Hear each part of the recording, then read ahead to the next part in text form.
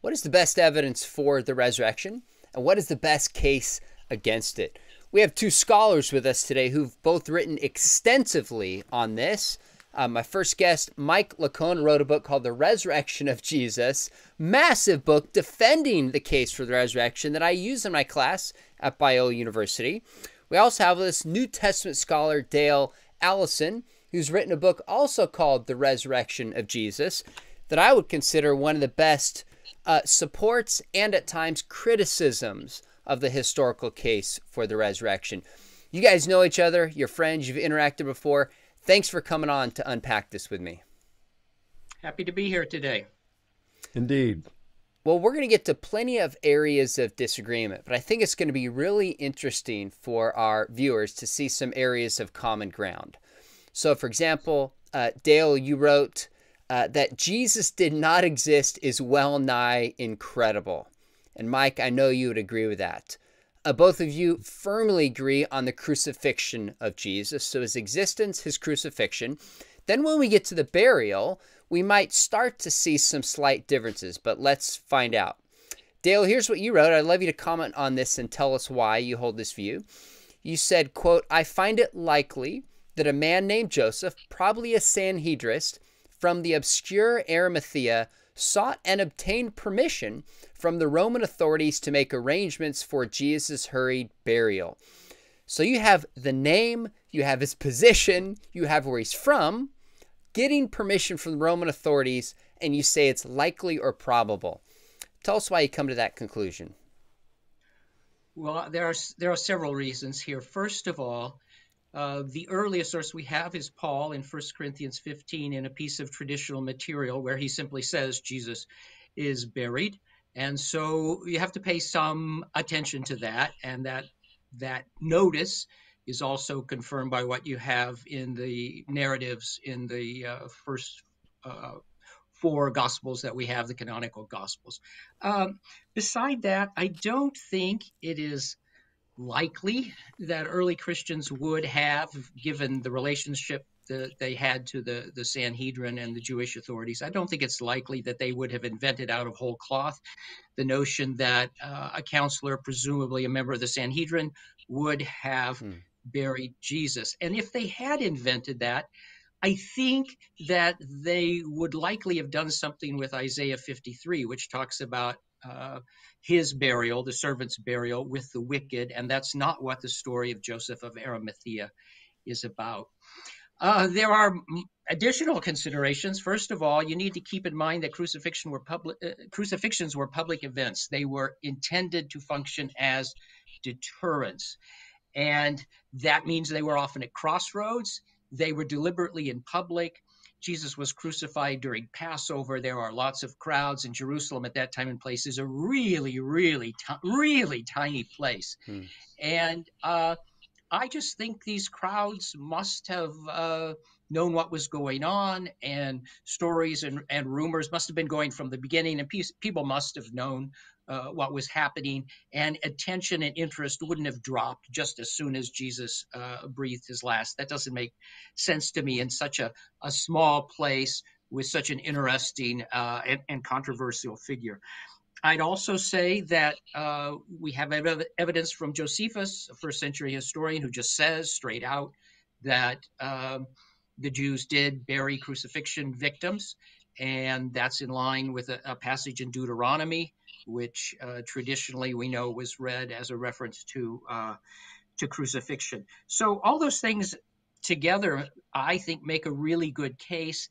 And I would add to that that when people try to come up with an alternative scenario, when they try to explain the narrative in terms of some traditions about Moses, for example, or a passage in mm. Joshua, I simply find them them unconvincing. So, hmm. uh, you know, I'm an historian. I like to be cautious, so I'm using probable and likely. But um, I think the case here is very strong, and I think it fits with everything else uh, that that we know. Helpful response, Mike. Your thoughts on the burial? Yeah, I agree with everything uh, that Dale said. Um, I like the fact that he brought up Josephus in his uh, Jewish War, Book 4, Section 317. He talks about an occasion um, at the outbreak of the Jewish war when the Idumeans attacked Jerusalem. They killed a bunch of the Jews, the ruling authorities there, and they wouldn't allow them to be buried. And Josephus reports that the Jews in the city were outraged because prior to that time, it was the custom um, to to remove the crucify and bury them prior to sunset. I, I think this is a, a pretty good um, mm. refutation of the view held by John Dominic Crossan and Bart Ehrman, um, that, that, that say that they were just thrown into a common pit. It, it would seem that in the time of Jesus, that was not the case. And then, as Dale has mentioned in his book, uh, there was Yehohanan, an ossuary that was discovered in the 1960s um, of a, a, Jew named Yehohanan who had been crucified. The nail is still embedded in his ankle. Um, so, uh, so that and and since then they have found a few other uh, remains of crucified victims, um, at least one of other in Jerusalem. So um, we know that they were using nails. Mm-hmm. Um, and um, yeah, so the burials there. I think what's kind of interesting is um, you know, I, I haven't studied a, a, lot so much in terms of the burial by by Joseph, but um, a, a, lot of the uh, debate too centers around whether it was uh, not only a proper burial, but was it an honorable burial? And mm. scholars disagree on, on that. Um, but uh, one thing Dale didn't mention, um, you know, a, a, lot of scholars, Johannine specialists, do think that John's gospel, even though the author uh, may very well have known some of the one or more of the synoptics. He's largely writing independently of them, and if his burial account is independent of the synoptics, then you have multiple hmm. independent sources, perhaps. Well, this is a great collective case. The existence of Jesus, we have his crucifixion, likely burial, a solid case. What about the empty tomb? Dale, here's what you write in your book. You said Jesus was probably laid in a tomb, which some women later found empty. What convinces you, historically speaking, that the tomb was likely empty and some women found it? Well, there's a whole chapter on that in the book. So, and it's a long chapter. So, for me, this is a, a long and involved question. But I would say at the end of the day, um, as with Josephus, uh, or I'm sorry, as with Joseph Arimathea, I find it unlikely that early Christians would have invented the story that features uh, women. I uh, I know that there are responses to that and retorts, and it goes back and forth. But again, at the end of the day, uh, I think if this had been an invention, then uh, Peter would have discovered the empty tomb, or Joseph of Arimathea would have discovered the empty tomb, or somebody else. Uh, uh, the women become prominent in Mark and Matthew only at, at, at the end of the story. And I think the best explanation for that is that there's historical memory. I also think this fits with just just fits very nicely with the notion that there were followers of Jesus, including women, who witnessed the crucifixion, and that makes perfect sense if you followed him up to Jerusalem, and if there are women among uh, the the number there, they're going to to watch him be crucified. And I don't understand why, after he dies, they suddenly would lose interest uh, in him hmm. or in his body. I actually think if they observed the crucifixion, it's overwhelmingly likely that they followed the body to see where it was buried. And it's overwhelmingly likely if they saw where he was buried that they would go back to mourn because that's what we all do uh, with burial sites, right? And if Jesus was crucified on the, the Sabbath uh, or crucified before the Sabbath, especially, they'd go back there as soon as, as soon as they could. So I, I, think I think it um, fits. Now, I have another argument that uh, not going to fly so well, probably with you too, but it, it works for me.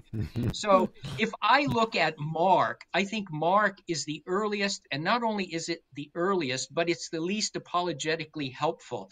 That is, if I look at Matthew, he's got a guard at the tomb, and he's also got Jesus somehow rising before the, the stone is, is removed. And then if you go to John and, and to Luke, then you get some men who show up also to confirm what happened to the women. You also have some burial clothes uh, to the side, which is is very odd if that's theft. So as I read the Gospels, I look at, at the the story in Mark as the earliest and as the least apologetically helpful. And for me, that's another indication that we have some some memory. Christians are looking at it and and thinking, oh, we have to say some more things here. Uh, because this story, this bare bone story, just uh, by mm. itself, uh, is is more ambiguous than we would like it to be. So, uh, so th- that's a third argument that that I would bring forward. Well, your chapter is really helpful. You lay evidence for the empty tomb. You consider arguments against it. So you're convinced the tomb was empty, but maybe in the gospel accounts later, some details are added to it that might not uh-huh. have the same level of historicity. Right. Mike, your thoughts on the empty tomb? Well, in, in terms of you know uh, embellishments or apologetic uh, stuff being in Matthew, Luke, and John, I mean it's it, it's possible. Um, it's just uh, you know Dale has done a lot more work in this area than I have, and historians can only go so far. Um, and when I look at the resurrection of Jesus and study it, I'm only looking at those things.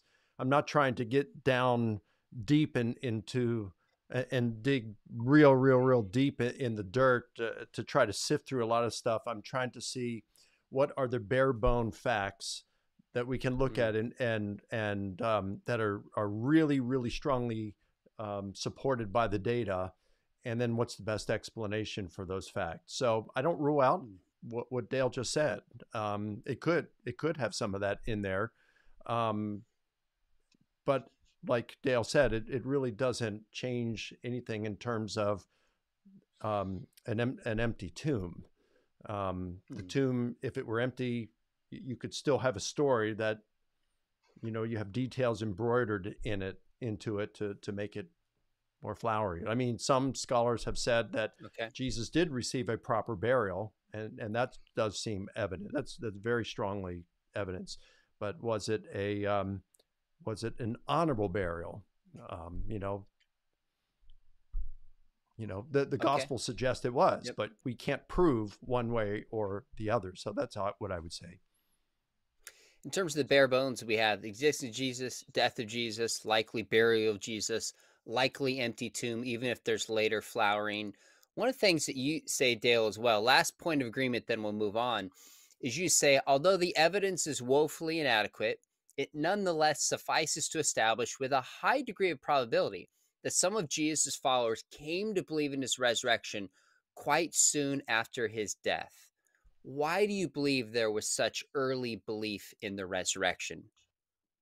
Well, there, are uh, two or three reasons here. The first first one is that the sources indicate that that was the case, and secondly, I see no reason to disbelieve them at this point.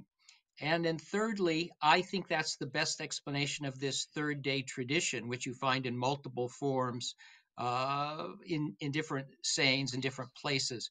So I, I, just see no reason to to disbelieve what's what's there in the text, and no good reason uh, to dis- to dispute this. Now there are some scholars, David Friedrich Strauss, and I think Bart Ehrman at one point thought that belief in the resurrection required um, some passing of time and reflection, maybe meditation on the scriptures, or maybe it took a, a few months or six months or something like that. I just don't see um, any any reason at all to to postulate that, and my own reconstruction uh, disallows it.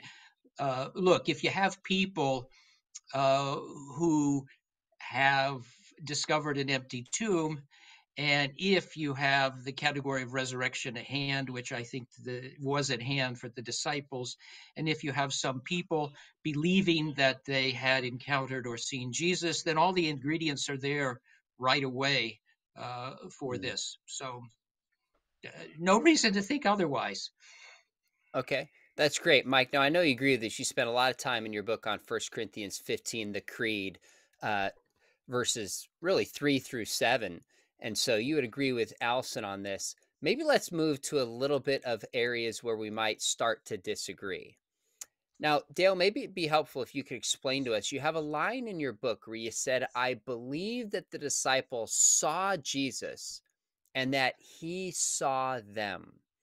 Could you clarify for us what you mean by that and why? Okay, so so the the reason I'm saying that is that in the book I have two chapters on visions.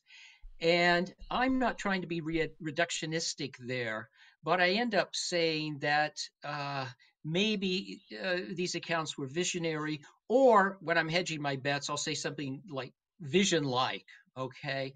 And when you use the, the word vision or, or vision like, given our time and place and culture, people are just going to think hallucination. And that's not what I mean by vision. So uh, I think it's possible uh, not just with regard to the, the stories about Jesus, but I think it's possible in general for there to be veridical elements communicated in what we, we call visions. So I don't think all visions are hallucinations. And by the way, I don't think Christians can think that because mm. there are lots of visions in the Bible in which uh, people think uh, God has uh, communicated to them, right? So um, that so that line is first of all an attempt to say even though I'm going to be using at points the language of vision or comparing things in the Gospels with visions, that doesn't mean uh, I'm on the side of the people who want to dismiss them all as as hallucination. And I thought the the easiest way to do that would just say, be to say the disciples didn't just see Jesus, but he saw them. So it's somehow a two way uh, encounter. Now, just for clarification, before I come back to Mike, when you when you talk about vision, you made a reference that there's visions in the New Testament that clearly within the text of the New Testament, Paul would think are a kind of supernatural experience. When you say mm-hmm. visions, do you mean a supernatural kind of experience or not necessarily even in that sense? Uh, so, so that's a great question. Um, what I'm intending in what I just said was to, to indicate that some visions, in my judgment, are veridical. Now, then the question becomes how can visions be veridical? And I think there's more than one answer to that. You can speak of God as the source of some visions, but I think other visions um, have um, metanormal sources that I don't understand, but they're still not uh, subjective. So I think, for example, just to be personal and candid, I think sometimes when people see the dead, they're not just hallucinating, right? Now, how mm-hmm. you throw God into that, um, I'm I'm not always sure, but I still think that sometimes people see uh, the dead. So, you know, uh, I yeah, I'll leave I'll leave it at that. Okay. fair enough. That's that's great. Mike, maybe clarify for us what you think the disciples saw and why. Well, uh, okay, so I, I t- the approach that I take in my big book is what is it if if we're trying to bracket our worldview and just look at the data and and the data and it's not so much I mean as a Christian I'm going to be more inclined to accept as reliable things in the Gospels than a non Christian would. That's just going to be my proclivity. And so I have to be hmm. careful for that. I, I recognize that's going to be my proclivity, and that can compromise my um, my investigation as as a historian. So I like what what Gary Habermas does with minimal facts, or as uh, Paula Fredriksen called it, historical bedrock um, you take those those facts that are so strongly supported by the data that they have compelled the significant majority, if if not nearly a universal consensus of of critical scholars to grant them. And it, it's not so much I, I care what scholars think, but if even skeptics are willing who who have a, a, a view contrary to my own are willing to grant it chances are it's not just my worldview and my proclivities that are leading me in that direction. So it's kind of like a, a way to manage my biases, my, my personal okay. biases. So there's a difference between, you know, what I necessarily believe and what I think we can verify uh, with a, a really good amount of confidence. So I'm not too far away from where Dale is on this. And in fact, in my, my 2010 book, the big book on the resurrection, here's how I defined resurrection for the resurrection hypothesis. Following a supernatural event of an indeterminate nature and cause, Jesus appeared to a number of people in individual and group settings and to friends and foes in no less than an objective vision and perhaps with an ordinary vision in his bodily raised corpse. So I think that's where I, I think that the data is strongly points in that direction. And I don't think that's hmm. much different than what, what Dale says. Now, I would distinguish between an objective vision and a subjective vision. Uh, a hmm. subjective vision would be a hallucination. You experience something within an altered state of consciousness. Okay. An objective vision would be what I think Dale's referring to here. It is, um, it may or may not be within space time. Um, uh, probably an objective vision's more likely to be something outside of space time. Um, I, I am inclined to believe that what they saw was something that they interpreted to be Jesus having been raised bodily, physically from the dead, leaving behind an empty grave, and that the general resurrection had begun. And what leads me to think that is Paul, um, in his letters, seems to believe in bodily resurrection of Jesus and that we will be raised in the same way Jesus was raised. He says this several times. And then he goes on to talk about our being bodily raised from the dead, which implies he believed Jesus was raised bodily from the dead. Now, where did he get this opinion? Um, if we take the accounts in Acts seriously of Paul's conversion, it's nothing in there that would seem to suggest that Paul would uh, think Jesus was raised physically bodily. That would be more like an objective vision. So for me, I, I, think the, the way Paul came to believe Jesus had been raised physically bodily from the dead is he heard this from the Jerusalem apostles. Um, the nature of the appearances, their experiences. And if you add an empty tomb to that, well, bodily physical resurrection makes a whole lot of sense. Hmm. That's helpful. Dale, why don't you jump in here? Your thoughts uh, with what Mike shared. Well, so I, I would add something that is re- that I think is really important to this. So first of all, uh, if you look at what resurrection generally means, or almost always means in in uh, early Judaism, it has to do with bodies and tombs and dust and graves. it's Ezekiel 37 type stuff taken literally. um, so that's that's that's the first thing. But the second thing is is that, and here I'm going to agree with Mike, but I probably would go a different way.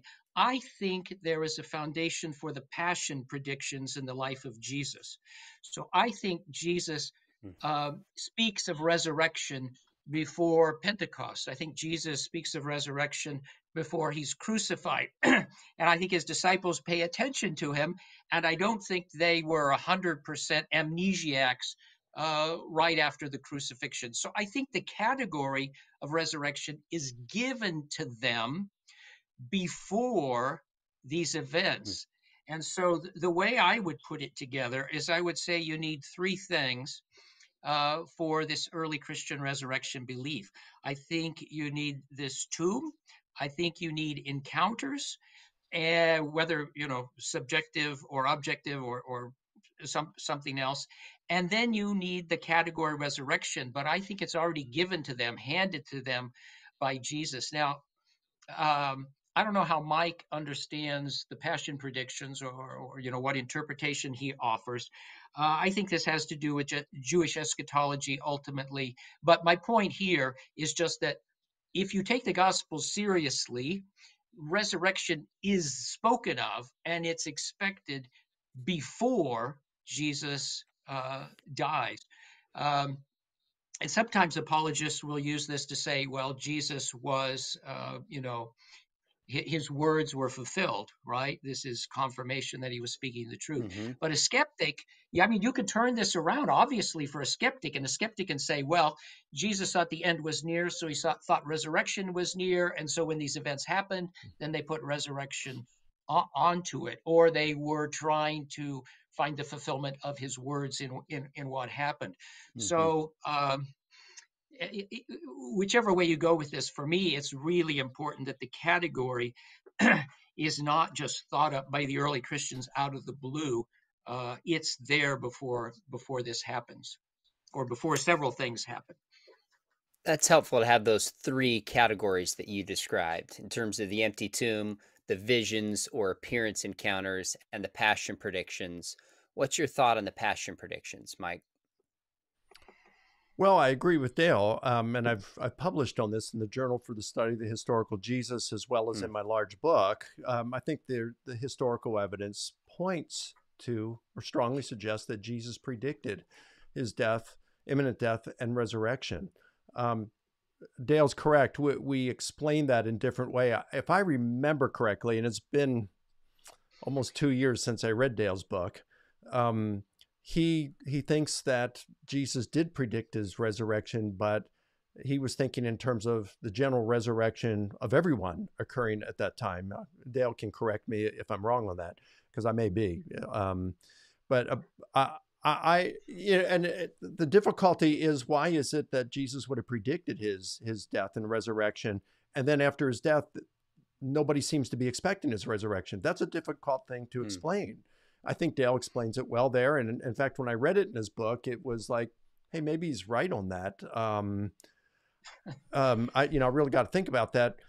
But I don't know. Um, I, I, I think I just tend more at this point to to go in the direction of Jesus did predict his death and resurrection, but the disciples were just knuckleheads, uh, as it, it's really uh, narrated or illustrated many times throughout the Gospels. They just didn't conceive of a dying and rising Messiah. Um, they were hoping things would be otherwise. And when he was brutally executed, they just weren't expecting his, you mm. know, the, the, his his resurrection, and so it came as a, a surprise to them. But um, I mean, we Dale and I explained it a little bit differently, but we we both believe that Jesus predicted his his resurrection. But but if I could respond to that, I do think earlier, Mike, you said something about the Christians believing that the general resurrection had begun. Don't I remember you saying something about that? Right. I mean, this would be after Jesus had been raised, though, and they had seen him, right? Y- yes, but but I don't think myself that for the earliest Christians, there's this firm distinction between Jesus's resurrection and then the general resurrection. I think they're all connected. That's why Paul has the first fruits language, and that's part of whatever the origin of it is this weird story in Matthew 27. Jesus actually isn't the only one to rise from the dead. We have other people. Uh, and I personally think the texts behind that are from Zechariah and Ezekiel and their resurrection texts in Judaism. So uh, I agree with you on that. Uh, now, how we, we understand the genesis of that, uh, I suppose, would take us into the subject of what the historical Jesus was all about, which is not what we're doing here today. Sure. We're looking at Jesus after the crucifixion, not before. But I, I just have to say that um, for me, you can't just draw this line at the crucifixion and say these things happened and that's why they thought so and so.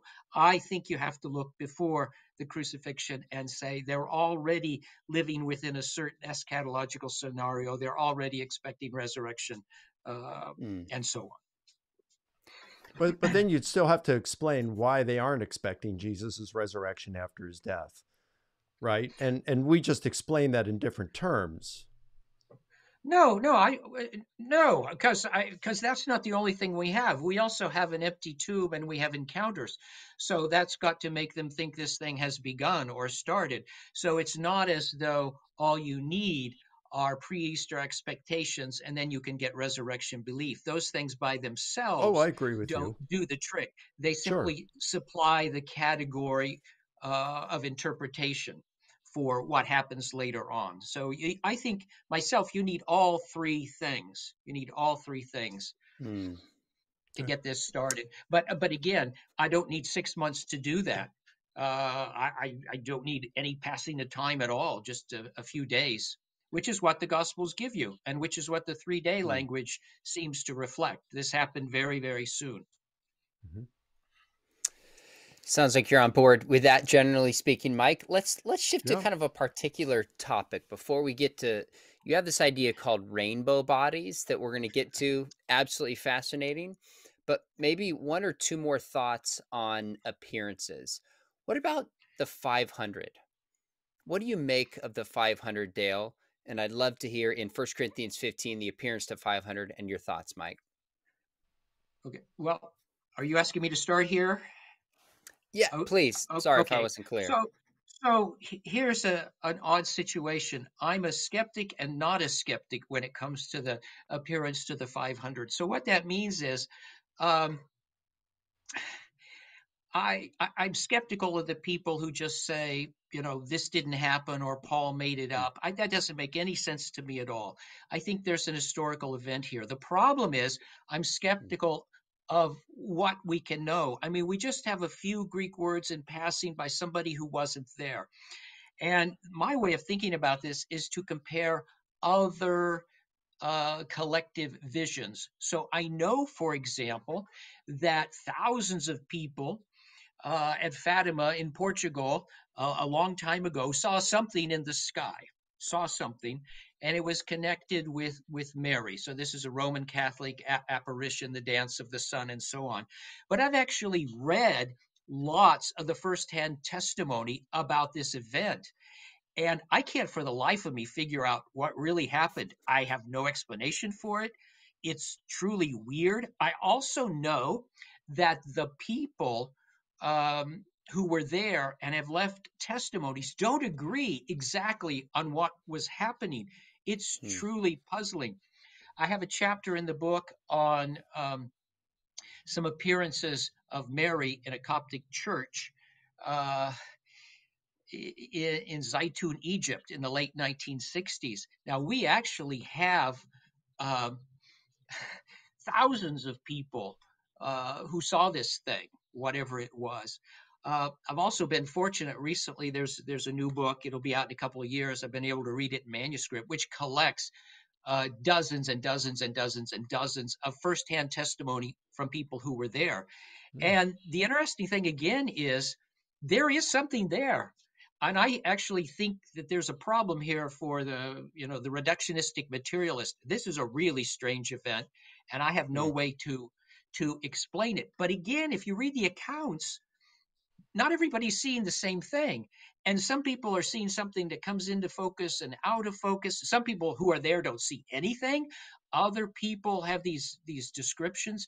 It's it's very strange. Okay, so here I have an, an event. I can't figure it out, even though I actually have the firsthand testimony of tons of people who were there. We even even got a few pictures. Apparently, I, I I've seen them. Um, or again, there was an appearance of Mary uh, about 30 years ago in Venezuela. And uh, Roman Catholic devotional literature or Mary literature will say Mary appeared to 108 people at one time. But that's not enough to tell me anything. I want the interviews. I've been very frustrated. I've only been able to get Hmm. two or three interviews of whatever this was that happened. So the point is if Roman Catholic literature says, well, thousands or tens of thousands of people saw the sun dance, or uh, Coptic Christian literature says uh, tens of thousands of people saw Mary at St. Mary's in Zaytun in 1968 69, or if Roman Catholic devotional literature says Mary appeared to 108 people at once uh, in this this you know this little place. Um, think it was by a waterfall somewhere in Venezuela.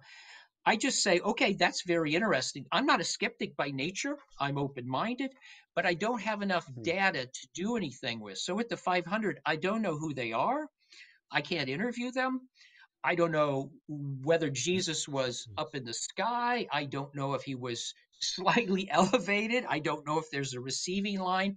I, I simply don't know anything about it. So uh, I, I don't doubt that there was some collective experience. I'm just not sure uh, what it was. And I, I wish I knew more. That so Mike. Okay. Yeah. So that's super helpful, Mike. I'm going to have you jump in a second. I want to make sure I understand. You accept that there's some type of group experience that Paul is not likely making this up, and there's actually something objectively there and you use the term that this kind of pushes back on materialism so it seems that there's something supernatural to a degree that is oh, there. Is that fair did oh, i put words in your mouth? okay so no you i think you, you're reading too much into what i say here. So okay. uh, what i would say is that there are collective the way i would argue as a historian is there are some collective uh, events for which i have no explanation. The the prize example for me is Zaytun. I simply don't have an explanation that for me should be a caution to the skeptic. That is, I don't think once you know everything, you automatically have your your pat answer or your e- easy way of explaining it away. And the story of the five, uh, you know, the five hundred might be like that. But on the other hand, a skeptic could simply say, you know, we have stories of groups of people seeing things in the sky, and we can be a little skeptical of that. So Constantine's army, you know, uh, by this conquer and so on. We have we have that that story, uh, which most historians, you know, wonder about. So th- for me, the 500 is just frustrating. It may. Uh, I, I'm not being skeptical. I don't want to be reductionistic about it. I'm simply saying, as an historian, I can't do much with it. Okay. Okay. Although I don't doubt that something interesting must have happened. But as a historian, I don't see how I could do more with Paul's words. Hmm. Fair enough. Mike, go ahead. So I agree with Dale there. Okay. And that's why, you know, when I define resurrection as I do in my book, it's, you know, it's a very broad, uh, non specific kind of definition that could include um, objective visions um, as well as bodily resurrection. Okay. But then, I, what am I inclined to believe then? All right. So there's what I think I think we can draw really, really solid conclusion from based on the data, and then what I might be more inclined to believe. And I'm more inclined to believe that the appearance to more than 500 was was more than just some sort of an objective vision.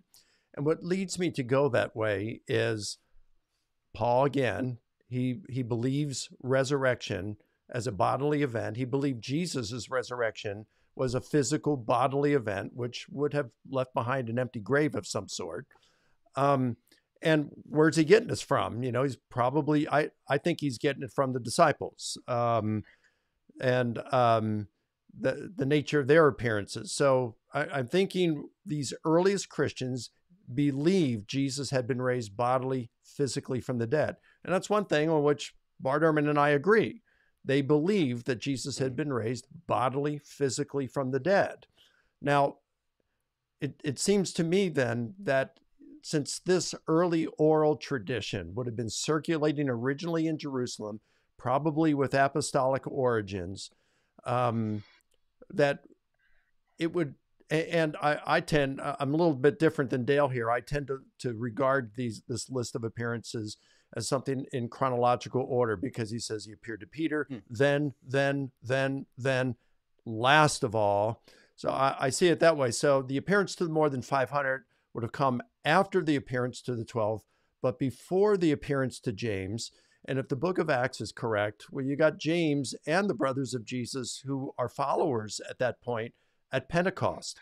Um, and um, so in, in that case, the appearance of more than 500 would have happened before Pentecost.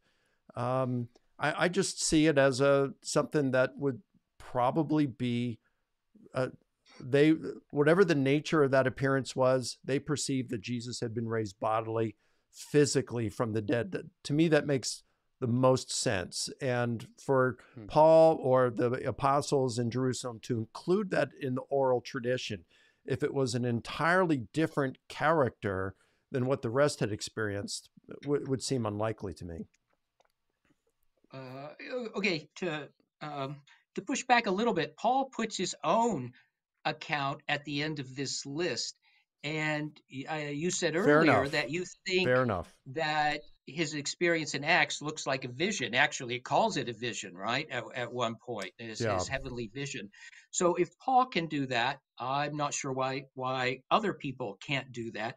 And the other the other thing is is that you know, as I argue in one chapter of the book, I I think we should pay some attention to the fact that Christians down through the ages have had visions of, of Jesus, and it still goes on.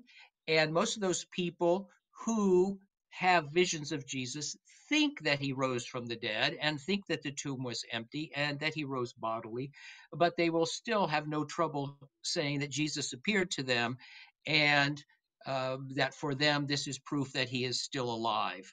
Uh, so I, th- I think once you, you believe in the resurrection, that you can take appearances as confirmation that Jesus still lives and confirmation of your belief in resurrection, but not every appearance has to be uh, physical. So, little pushback there. Yeah, I think that's fair, Dale. I think that's a fair answer. Good answer. Do you want to weigh in on kind of the Marian apparitions and the thoughts on that that Dale brought up? Do you see that a little differently, Yes. or move on? Yeah, sure. Um, so I'm not Catholic, um, so it's not really within my theology that that Mary would appear, and I don't really see any reason for her to. But I can't rule it out. Um, I I do think I agree with Dale here that it it is um, supernatural or or spiritual, probably in nature. Uh, my friend Ken Samples has written on this, and he and I both spoke at a conference in Alabama a few years ago, maybe five years ago. And he has actually gone over to Medjugorje, Croatia, and interviewed one of the seers for one of these major Marian apparitions that occurred. I think it was 1981. Um, and um, so he met this guy, one of the seers, as an adult now. And he said, while he was there, that seer actually experienced another apparition of Mary. And they go into these trances where they see Mary. And when he came out of this trance and said that he had just seen Mary, Ken asked him, he said, Has she ever spoken to you? And he said, Yeah, she did once. He said, Well, what did she say? Well, she recommended that I read a certain book. Well, what's the title of the book? So he told him. Ken went back and looked at that title. I looked up that book, and it was actually a book on the occult. So Hmm. that's kind of interesting. Um, so I'm not going to say that all Marian apparitions are demonic or something like that, but I do think that that is, I think that's an interesting um, Hmm. observation. So I'm not ruling out Marian apparitions. I- Is it Mary? I- I'm not inclined to believe it is, but I don't rule it out. And I think the the thing with the uh, the one seer from Medjugorje is, is kind of interesting what he Hmm. said. That is interesting. Uh, as tempted as I am to explore that further, Mhm. let me pull us back to one of the biggest evidences that is given for uh, the resurrection is the appearance to Paul. Would you talk about how you see that, Dale? What you think you saw, what you think we can know historically? Well, um, first of all, I give some reasons in my book for thinking that the stories in Acts uh, probably go back to a story Paul told. Uh, you know, there are some scholars who just say this is an Acts and we can't pay any attention to them. I think there are uh, subtle lines of continuity between what you find in Paul and what you find in Acts. So uh, I, I think the gist of what you have in Acts is probably true. I don't know, again, as an historian, how you can get behind a vision or get into a vision and decide what all the, the, the causes are and so on. But again, I would go back to um, um, what I said earlier with regard to interpreting uh, the resurrection with the first disciples. The category is already there. The category is already there for Paul. In other words, he has been persecuting Christians if he's doing that, he has to know what they're saying. He has to know something about their claims. He has to know they're saying Jesus um, is the Son of God and that he's risen from the dead and so on. So he has this experience. And then I think he's not just interpreting it sort of in and of itself. I think he's he's in effect saying at, at some level of his psyche, oh gosh, those guys are right. and so this must mean such and such. So again, I think that what's happening here is Paul's not given a bunch of theology out of the blue. He actually knows the theology and rejects it, but he has this experience which makes mm. him think, "Oh, that theology is the right one, and and I've been wrong." Um, again, as an historian, I I, I have I, I don't know how to get get you know in, into this. Uh, uh, even apart from my Christianity, I don't think all visions are purely subjective. I think we need to be we open minded. Actually, as Mike was trying to be a minute ago with with Marian apparitions. Uh, so yeah, I don't. I'm, I, I think I'll I'll hand that off to to Mike at this point, uh, because one of the things I do when I'm looking at at Paul's uh, vision is just survey a lot of different explanations and say, well, uh, you know, uh, maybe, but you know, how how could you ever prove for it? You can't you can't disprove that Paul had epilepsy, right? But you can't prove he had epilepsy. Uh, there's no reason uh, to think that. So uh, it, it's very hard to get into this. I, look, look, so Peter has a vision in Acts, and he sees uh, a blanket come down from heaven, and he sees some animals in it, right? How, how would you evaluate that experience as an historian? I just don't know how to get to it. Uh, you know, it's an ecstasis. It's some kind of trance. It's a it's a vision. It's some kind of uh, I, I'm not quite sure what what it is. Right, some kind of dream hmm. state. Anyway, uh, I, I have no way as an historian to be able to say, well, God was speaking to Peter, or as an historian to say, well, I know darn well God wasn't speaking to Peter and it was all hallucination. It's it's very difficult um, and frustrating the the limitations of historian historians. I'm always I'm always um, going back to something Origen said in his commentary on the fourth gospel, which is it's really hard often to show things happened even if they did. Hmm. Even if they did. History um, history has its limitations, which is why history isn't all there is. It's not the only discipline, right? We need philosophy and theology and, and, and everything else. So, just speaking as an historian, I don't know how to to fix the nature of Paul's uh, mm-hmm. visionary experience. Mike may have a different view, but that's that's my view. Yeah, I'd, I'd, I'd say I agree with everything you said there. Um, but but what I, I do, I, I, go a little bit further and I, I want to apply um, uh, arguments of inference to the best explanation. So if I were to just look, if we if we were just to look and isolate the appearance to Paul, there's not much we could say about it. In fact, we might be inclined at first to say it's a hallucination and that reports of his experience, conversion experience in Acts, has been embellished to include some traveling companions who took part in elements of of that experience. Um, but it, it's when you consider everything. So if you just look at the appearance to Peter, you say, okay, well, it could have been a grief hallucination. You look at Paul, maybe an mm-hmm. epileptic thing or whatever, you know. Um, um, if you just looked at those things individually and isolated them, yeah, we, we just can't know much. But it's when what historians do is they look at all the relevant data and then a hypothesis has to uh, be able to provide an adequate explanation for the collection of those data. And so when you look at, well, it's not just Peter, it's Paul. Hmm, okay. Oh, wait a minute. You also have several appearances to groups, which seems to exclude hallucination or at least make hallucination wildly improbable. um, oh, you got an empty tomb too, perhaps? wow, you start to put all these things together. And as a group, this collection, excuse me, it seems to me that the resurrection hypothesis explains it better than mm. any competing hypothesis. One of the things that I'm, uh, I think, is at play here in some of our disagreements is the difference in methodology. I'd love to hear you spell mm-hmm. out a little mm-hmm. bit of. You both have described mm-hmm. yourselves as Christians. You're looking at this historically but seem to differ in terms of how you approach these questions. So, why don't we start with Dale? How would you describe your historical approach in looking at questions like the resurrection? Well, my frivolous answer is that I'm more sympathetic to the atheist.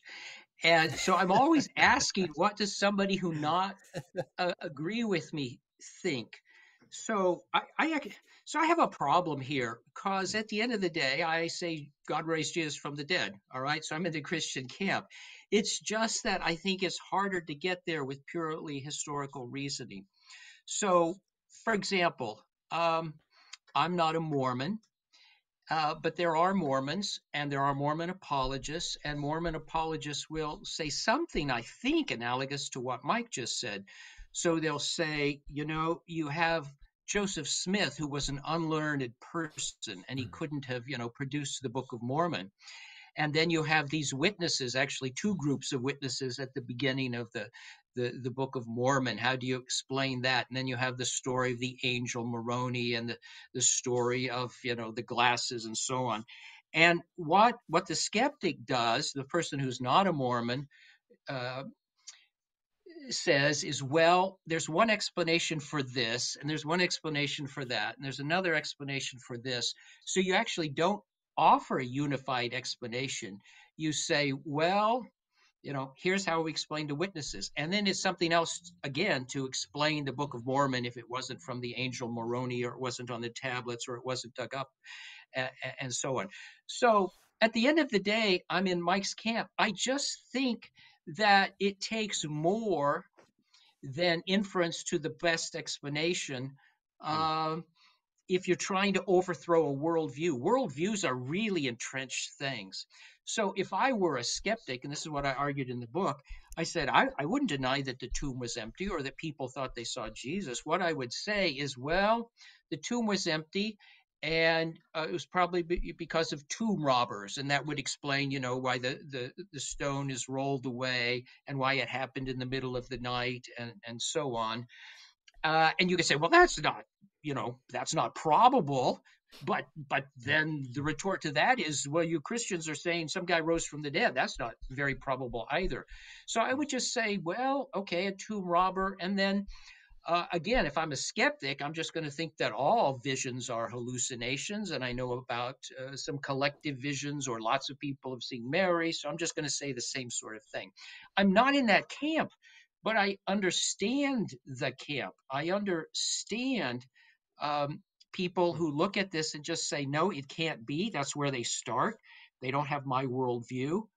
And um, it's not that I'm averse to arguing about worldviews or that I don't think uh, some arguments about God are, are, aren't better than others. It's just that at this point, this particular point, even though this is the center of Christian theology, um, that doesn't, for me, mean that you can establish it historically. So that that's where where hmm. we are different. I'm more sympathetic, I think, hmm. uh, to to uh, to to the view of the skeptic.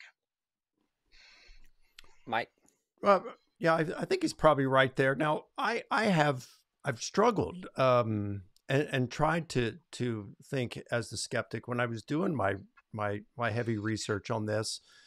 My doctoral supervisor Jan van der Watt, who whom Dale knows, um, um, he and Gary Habermas and William Lane Craig and my wife could all tell how viciously I wrestled wrestled with this stuff and mm.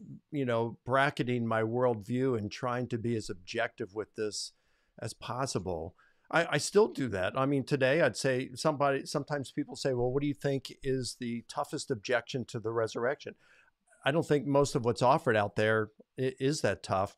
But if I, uh, you know, when I look at it, I think, well, if I were a Muslim, and let's just say that the evidence we had for Islam being correct was on par for what we have for the resurrection, and that we did not have that evidence for the resurrection. So if you just kind of flip flopped, and they had the evidence for the truth of Islam that we have for Christianity, but we didn't have what we have, would that be enough to persuade me as a Christian to become a Muslim?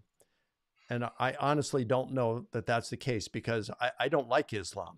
I, it's not attractive in the least to me. So, would that uh, the amount of evidence be enough to to pull me over? I I don't know that it would be. So, um, so but but that's that that's a little bit different than the question about did Jesus rise? Because as historians, you know, I can I can I can look at this, and Dale says, well, arguments of inference to the best explanation are inadequate to overthrow a worldview. Correct. I, I agree with that. However, I'm not responsible as a historian to convince others. If they are handicapped by the worldview, if I have done my best and and have, you know, done what I think is a, a, decent job of bracketing my worldview while my investigation proceeds. And I think Dale works hard at this himself. I, I think he's one of the most honest historians uh, of Jesus that I've ever met. I, I, I mean, he was very inspirational uh, to me when I was doing my doctoral research. So um, I, I, think he's a, a, fantastic model of a historian.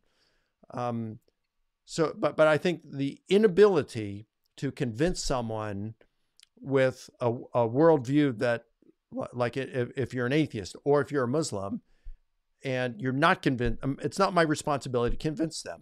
Um, hmm. if they are handicapped by their worldview, then that's their problem. It's not mine. If I'm handicapped by my worldview and atheism is true, that's not the atheist problem. That's my problem. And, and that's why I try my best to bracket my worldview while my investigation proceeds, because the thing that keeps me up at night is, is a line that came from the movie Risen and it's uh, which I, I love that movie, and it's hmm. uh, it's after the resurrection of Jesus and right before the ascension, and this tribune Roman tribune is talking to Jesus late at night, and Jesus says, "What troubles you? What, what do you fear?" And he said, "You know, be, being wrong, and it cost me eternity." Mm. And so that that haunts me sometimes, and it's like, um, well, you know, I better do my best. I mean, maybe God will overlook if I get it wrong, but I want to do my best, my very best to be as objective as possible because I don't have to fear truth. And if I've got it wrong, I want to know that I'm wrong. But I do think mm-hmm. arguments of inf- inference to the best explanation are a really good way to weigh hypotheses to see which one best explains the data. And the one that best explains it, I think, is probably true. Dale, please. Just just to add something, I actually uh, think that Mike's book is really good at dismantling uh, the standard skeptical hypotheses. That is, if you look at the views that he's attacking, if you look at I, uh, you know, uh, Gerhard Ludemann and, and other theories of, of how the resurrection got started, they are pretty weak, right? That's why I decided, trying to be honest with the data in my book on the resurrection, to try to come up with a better skeptical scenario. So I'm playing devil's advocate. Mm. I'm I'm trying to figure things out. And at some point, maybe Mike will write an article explaining why my best skeptical scenario is also not worth taking seriously. But at the point at this point in time, I think the thing I can come up with uh, should uh, give some refuge to a, a, skeptic, and they should be able to say, okay, you know, Allison says this is possible.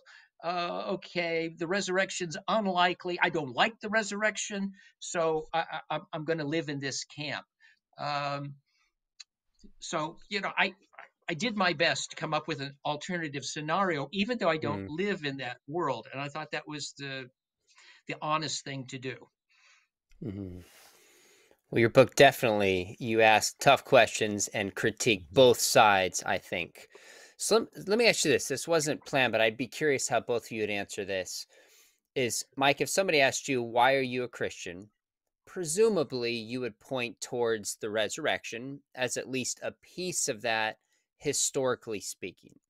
Where does that rank in your answer as you would speak to someone said who's a skeptic? hey, why should I consider becoming a Christian? Would you lay out the evidence thinking there's some merit to it, whether or not the person ends up believing? Is that the route you would go? Well, if you're asking why I'm a Christian, maybe be why am I still a Christian? I mean, I, I, didn't become a Christian because of the evidence for the resurrection. I became a Christian at age 10, mm. and certainly my epistemological processes weren't really developed at that point. um, I was looking for an answer for several years, and a Christian magician came in to our Sunday school class at church, and he did magic tricks or illusions, whatever you want to call them. He related the gospel to them and it's like wow this made sense. And for the first time I, it was like yeah it's not what i do it's what christ did for me. And and it was a presbyterian church uh, united presbyterian church a, a, denomination back then and he gave an invitation and three of us went forward because i thought this is what i've been looking for you know?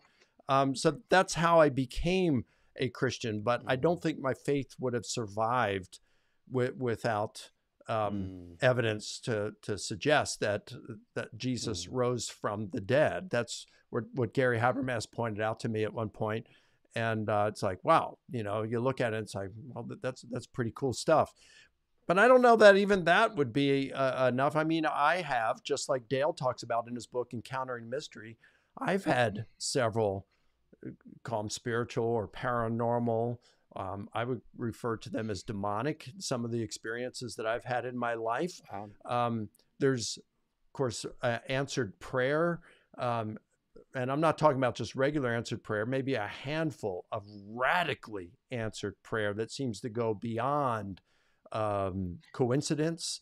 Um, and, and, some things like that that that convinces me and and then there are some logical arguments for god's existence i like the kalam cosmological argument it, the moral argument I don't think is the strongest, but but I think it's quite hmm. persuasive. Mm. Um, so I look at some arguments for God's existence. I look things like well evidenced near death experiences, veridical apparitions, extreme answered prayer, paranormal phenomena that I think so strongly point to a spiritual or supernatural dimension of reality that one can hardly look at the do an objective look at the data, deny it, and still call themselves as a realist. So I, I think the background mm. there suggests that uh, a supreme intelligent being who's responsible for the creation of the universe exists, that a spiritual realm exists, that when you look at historical Jesus research, to see that he made claims to being divine in some sense, that he performed deeds that astonished crowds, that he and his followers regarded as divine miracles and exorcisms, that the evidence strongly points or suggests that he actually rose from the dead it, it seems to me that the, the Christian view provides the most unified theory of reality. So that's hmm. why I'm a Christian today. That that's super helpful. Dale, would you be uh, okay answering that question for you? Well, I don't have anything as eloquent as Mike just gave you. Uh, you know, I was born into a Presbyterian church, and mm. and I guess I would say that I, I grew up a, as a Christian, and then I've had experiences that seem to reinforce that. And mm. my experience has been more, uh, I haven't had reasons to throw away what I had been given, mm. but I have spent a life sort of revising and modifying and interpreting and trying to figure out what to hold and and what to rethink and what to revise and what to regard as just um, um, something I don't I don't want to keep. But the other thing, and this is not Mike at all, uh, is that when it comes to this, I'm a bit of a pragmatist.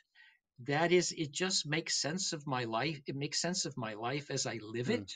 It sort of works, right? And that's nothing mm. I can generalize. It's not nothing I can mm. turn into apologetics. But again, I don't see a reason to throw away what I was given, although I have reasons to, you know, rethink things all the all the time. But but the the basic uh, foundational faith that I was handed, I've just uh, kept. Now, by the way, I should say that also scares me, right? That mm. scares mm. me because, you know, I am what my parents were, that's not a good reason for anything.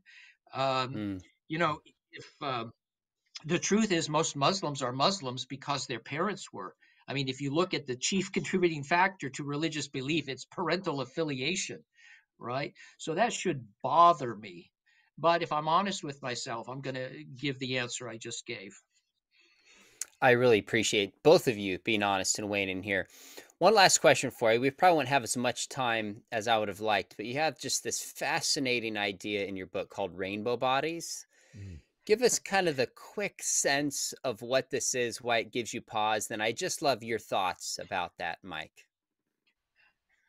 Well, um, this is something I knew next to nothing about when I wrote the first uh, long essay on resurrection in 2005.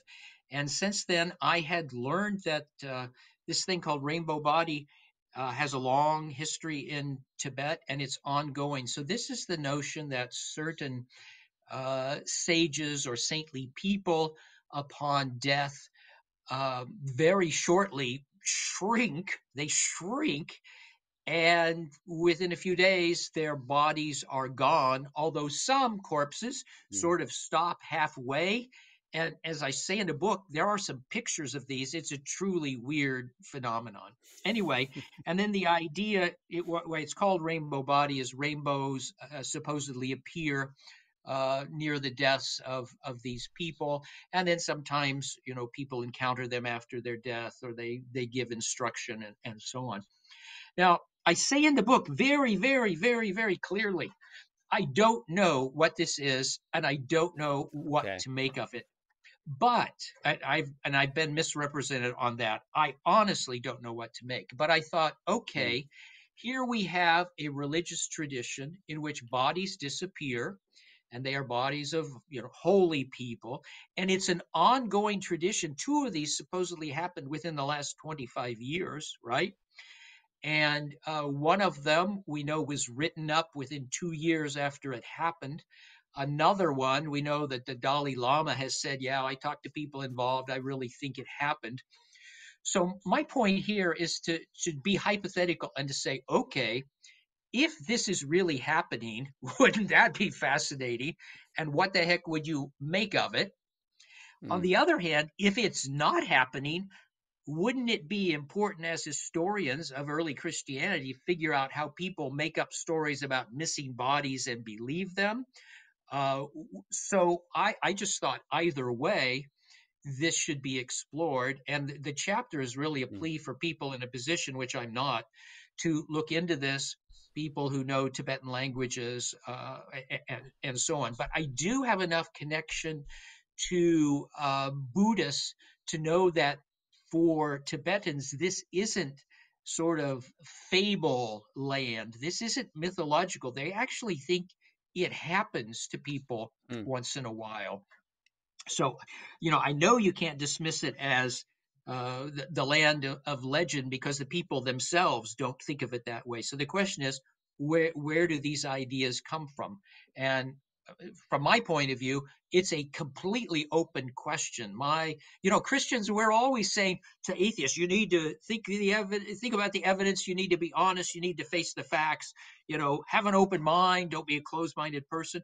Okay, so, all right, let's do that. Here we go. Let's turn it around on ourselves and say, let's be fair-minded with the data. What the heck does it say? My conclusion is, I have no idea what the heck it says no idea at all. just that it sure looks interesting to me, and somebody should teach us about this. So it's just a plea mm. for uh, education in this matter that doesn't show up in in books on the resurrection. And uh, mm. I spent enough time discovering. You know, it's not just this isolated report. It's actually a this fascinating tradition that's gone yeah. on for a long time. Well, I'd never read it in all my studies of the resurrection. We're we're bumping up a, across needing to wrap up here, but Mike, your thoughts on rainbow bodies in your case for the resurrection? I, I, think it's really interesting. Um, I had not heard of them or read of them uh, until mm. I read about them in Dale's book, his his 2021 book. So it was new to me, and I think it is something that needs to be looked into further. There's not a whole lot on them, um, so yeah, I, I, think it's really it's really interesting. Um, if it were made up, and I think uh, if I read or recall Dale's book correctly, and I may not be, the major researcher on this, who is a, a Catholic scholar, said he didn't know what to make of it. That maybe something real happened here. He didn't rule out hagiography. Um, but and and Dale's right though. If it if it is hagiography and you've got it these reports coming really really early, then you got to ask, well, what about the really really early p- reports about Jesus' resurrection? My response to that would be, well, what you don't have in the reports about the rainbow bodies that you do it with the resurrection is appearances to skeptics like Paul, like James. Mm um, and and like I said, you got to look at explanatory scope. What best explains all of the facts? So I don't think it would be a good uh, um, parallel to or analogy or illustration mm. or or cast out on the resurrection. But I do think mm. it's a hmm. phenomenon that um, that I mean, I, I don't really have an answer for it, to be honest with you. Now, honestly, I haven't given it a whole lot of thought, but I do think that it, it, it it should get more thought and um and the implications of it. So that's just my my raw thinking of it. Well, we need to have some more research done and some doctoral theses, and then we can mm-hmm. really analyze it and go in a little bit more depth. Want to rec- uh, respect both of your time, but again, Mike Licona, his book, The Resurrection of Jesus, mm. is the top book that I recommend making a case for the resurrection. And Mike, you know this, you stream every year. We go through your book carefully in the class I teach on the resurrection at Biola. Uh, Dale Allison, other guest, his book, also called The Resurrection of Jesus, lays out a lot of the points he made today, but even in a lot more depth. What I think is fascinating amidst the differences is there's agreement Jesus lived, that he was crucified, that he was likely buried, that the tomb was found empty, and that there are early accounts of individual and groups claiming to have seen the risen Jesus. And you both agreed that there was some kind of vision that took place, at least historically speaking.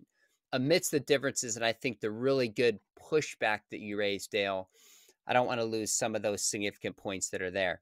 By the way, those of you watching, I would love to have you join us at uh, Biola. We've got the top rated distance apologetics program. Uh, think about Wrong. joining us. oh, man. You go to bestschools.org. That's all I'm saying, Mike. I, uh, but, you know, I open you another can of worms here. There, there you go. Um, lost my train of thought. Make sure you hit subscribe. Have other conversations coming on. But Dale and Mike, so appreciate your thoughtfulness and your willingness to come on and have this conversation. My pleasure, Sean. Thank you. Thank you so much. I enjoyed it.